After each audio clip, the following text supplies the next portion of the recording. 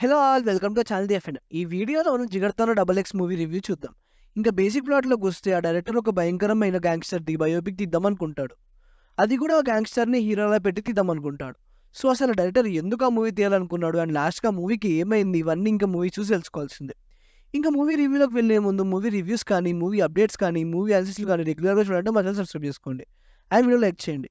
ఇంకా మూవీ ఎలా ఉందనే విషయానికి వస్తే నాకైతే నచ్చింది భయ్య. ఎస్పెషల్లీ క్లైమాక్స్ భయ్య మామూలుగా లేదు. మూవీలో ఎమోషన్స్ని చాలా బాగా ఎక్స్ప్లోర్ చేశారు. అందుకే మూవీలో ప్రొసీడింగ్స్ని అన్ని కొంచెం స్లోగా అనిపిస్తుంటాయి. ఎస్పెషల్లీ ఫస్ట్ హాఫ్ బై ఒక ఫిఫ్టీ మినిట్స్ కట్ చేయొచ్చు అనే ఫీలింగ్ వచ్చింది.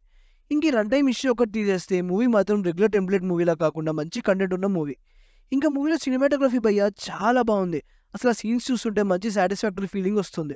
అండ్ ఇంకా బీజిఎం కూడా చాలా బాగుంది. ట్రిల్లర్లో ఒక బీజిఎం ఉంది చూడండి అది మాత్రం చాలా బాగుంది.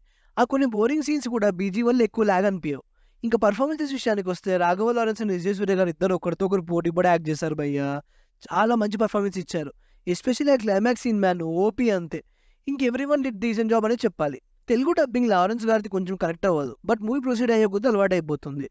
And as mention BGs one of the highlight of this movie cinematography is excellent and production quality was good మొత్తానికి జిగర్ తండాకు ఒక మంచి సీక్వెల్ ఒక మంచి ఎమోషనల్ డిఫరెంట్ మూవీ చూడాలనుకుంటే ఈ మూవీని డెఫినెట్లీ ట్రై చేయండి.